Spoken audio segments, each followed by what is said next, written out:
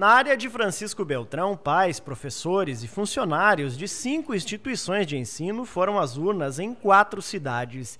Duas escolas ainda continuam a votação para decidir se haverá mudança a partir do próximo ano.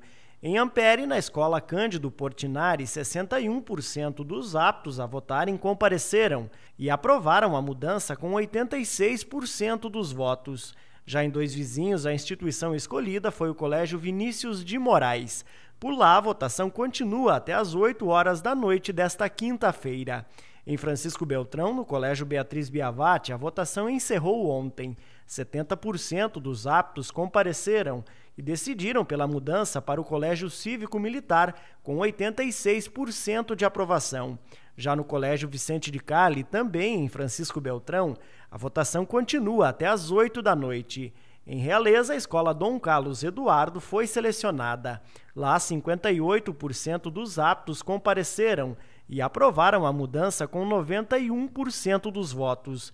Nas escolas em que a mudança foi aprovada, o modelo entra em vigor já no início do ano. O Estado ainda vai publicar regulamentações especificando como será a gestão compartilhada entre civis e militares.